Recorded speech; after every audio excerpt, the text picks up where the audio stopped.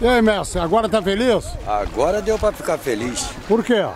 Ah, só da gente ver essa lagoa abrir aqui para botar uma água limpa, entrar siri, camarão, entendeu?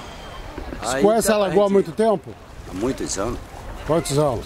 Eu fui nascido e criado aqui. Então, a vida Peguei, inteira. peguei fartura mesmo de camarão, siri aqui nessa lagoa.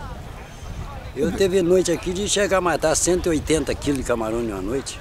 Na verdade, é caminhão cheio de, de camarão. Saía, tinha do- dois caminhão frigoríficos para comprar o camarão, siri, muito peixe mesmo, com fartura, uma água limpa. Hoje, graças a Deus que estão tomando uma providência, que já acabou a maior parte do esgoto aqui da lagoa, né? graças a Deus. É, as autoridades estão, entendeu, tomando uma providência pra gente aí, pra gente ter uma água de qualidade na lagoa e voltar à fartura que era, né? E o senhor é pescador ou não? Não, Não, só morador. Só né? morador mesmo.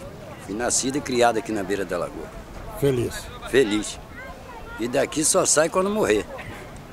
A Qual é o seu praia- nome? Meu nome? Ah. É o Lulu, Lulu. conhecido por Lulu. Seu Lulu. O senhor trabalha em que, seu Lulu? Rapaz, a gente, a maior parte foi trabalhando dentro das empresas de petróleo, entendeu? A gente trabalha com manutenção de, de- nas empresas, entendeu? E o senhor nasceu onde? Ali daquele lado? Não, Perto da casa do quando- senhor Euclides? É, eu nasci do lado da casa do senhor Euclides. né?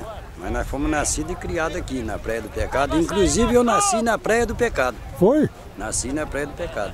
E mora onde agora? Hoje eu moro na entrada do Novo Cavaleiro. Foi lá pro outro lado. Fomos lá para outro lado, que a- na época a rede ferroviária é, exigiu que a gente saísse dali, cada terra. Aí nós fomos embora lá para o outro lado. Pegamos a indenização e comprei um terreno lá. Vai esvaziar a lagoa, não vai? Com certeza. Quanto tempo leva para esvaziar isso Ah, aqui? deve- pelo que eu vejo aí, o que eu entendo de lagoa, porque deve levar média de umas 4 ou 5 horas, né? Mais ou menos, mas aí vai entrar a água salgada, já vai matar, já limpando a- essa poluição que está na lagoa e que Deus quiser vai ser tudo resolvido.